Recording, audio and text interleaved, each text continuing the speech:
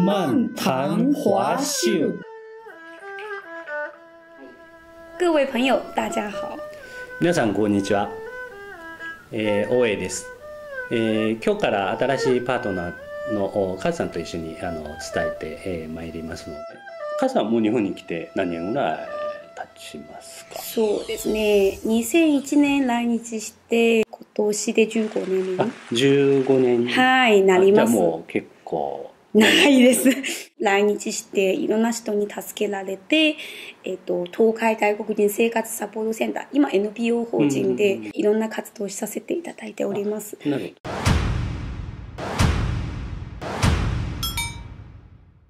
何が一番？大変っていうのは、まあ、いうのが大変があったと思うんですけど。えっ、と、その地域に住んでいる日本人お母さんと友達になることと日本というと、公園デビューということもあるように、やっぱり日本で生活しているうちに、子育てしているうちに、日本の子育て事情を知らないと馴染めない。と思っていろんな本を、まあ、買って読んでました。勉強されてた、ね、そうですね、えー、もちろんもちろん。言ってもいないと同じような存在だったということすごく虚しさを感じてたんですね。みんなはお母さんと子供一緒に公園で遊んでいるのにそばに通っても誰にも声かけられない。あその公園にいるそうですね1週間本当に嫌になりそうでもでも次は絶対いいのがあるといい人に出会えるという信じ続けて行ってましたんですね。あじゃあ1週間もずっとその公園毎日通い続けてそうなんです、ね、行ったっていうことですはい。5日目ぐらいかなって本当にブランコで隣ちょうどナイスタイミングにお母さん、うん、がお子お子さん連れてるお母さんがブランコ乗せて「あ可愛いですね」って。やっぱりブランコという狭い動き子供動きがない中に偶然にの本当に優しいお母さんだったので一番内容の良い会話ができたというのがありましてでも帰りは本当に「天下取ったぞ!」っていう感じで それぐらいに達成感と嬉しさと、な言葉で変えられないようなそのルンルンさがもう今本当に天が取った気分で帰りましたね。こんな私外国人のお母さんは受け入れてくれるかしらと不安の方が大きかった。だから最初もうちょっと積極的にも声かける勇気がなかったんだなって。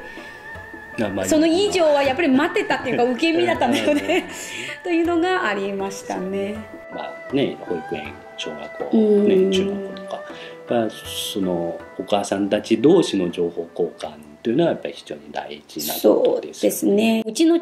こう例えば帰ってからすごく暗い顔で帰ってきた時を、彼に聞いても出てこないんですよ。で、そういう時をママ友通して今日何があったみたいですけど、本当にあちこちを聞いたら意外とあこういうことあったんだっていうのが把握できる場合もありますのでそこにどっかで聞いたようなあの話ですね。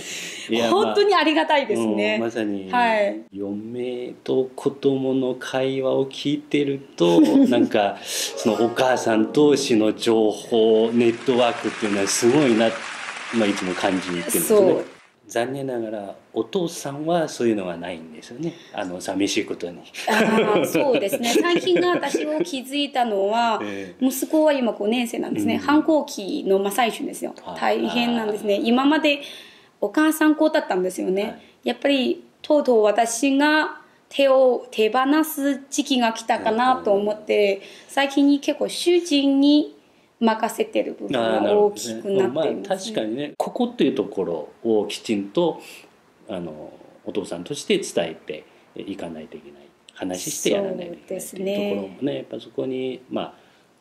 お母さんとお父さんのそれぞれの役割を果たしていかないといかんのかなと。自分が思っているもの、必ずしも正解ではないということが相手の見方と考え方を認めることも大事だなって。あと文化の違いもあるのでそこもね食文化から生活文化とかいろんな文化に関しては国と国が違うので私を知っている国際結婚の中に自分の考えを通すお母さん中国人のお母さん。いやこうだ。そう中国はこうだこれは正しい日本はどうかでは私に関係ないっていう感じで通す自分の信念を子育て信念を通していくでそこを見見られるのは例えば日本でいわゆる「いただきますごちそうさまでした」といったすごく良いマナーも子供に伝えない。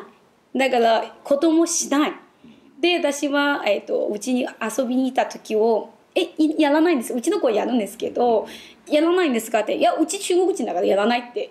え？って思ってたんですけど、うん、そういったことやっぱり良いものが取り入れて、うん、あるいはここの子たち将来は日本で生活していくのでそういった私の中に最低なマナーとか、ルールとかそういうしつけはすべきだなと思うんですね。それは自分の国の文化を殺すというものではないんですね。例えばいろんな考え方はもっとグローバルしていいんですけど、やっぱり人間として、日本で人間として生きていくために、そういったマナーも子供に伝えたらいいなと思います。まあ、良いものは取りそうですね。はい。そういった感じですね。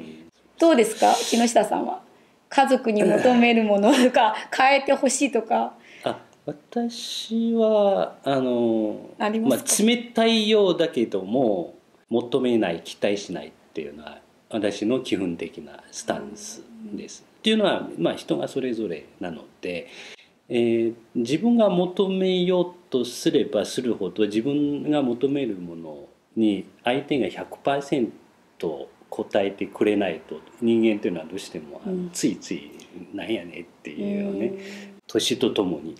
まあ若い時はもっといろいろありましたけども。どうしても言葉慣れていくと行動も見かけも日本人っぽいんですので、うん、そういった意味で日本人の嫁だからこうだよっていう求められた時を正直しんどかった。日本人はみんなそうだよっていうことを私に求めてきた時はすごく私の中には最初は合わせようとしてたんですけどすごく苦しかったが覚えがありますね。あとどうしても私の中にももう一つあるのは政治の話がよく聞かれるんですよね。やっぱり私の主人が異なる故郷で生まれてきて最初はやっぱりそういった話し合いもあったんですけど23回やった後で何も生まれてこないことを分かって夫婦の仲悪くなるだけで まあとりあえず政治の話しないはすごく大事だと思います。家庭円満のために、そうです。はい。まあいろいろといろんな、えー、講演レビューからえー、最後に政治の話 幅広いあのそうですね、えー、話を伝えさせていただいたんですけども特に、えー、多くの方々方々があの日本に来られてるので、えー、見かけたら優しく、えー、声かけていただけたらと思います。ぜひ、ぜひ、お願いします。再见。再见。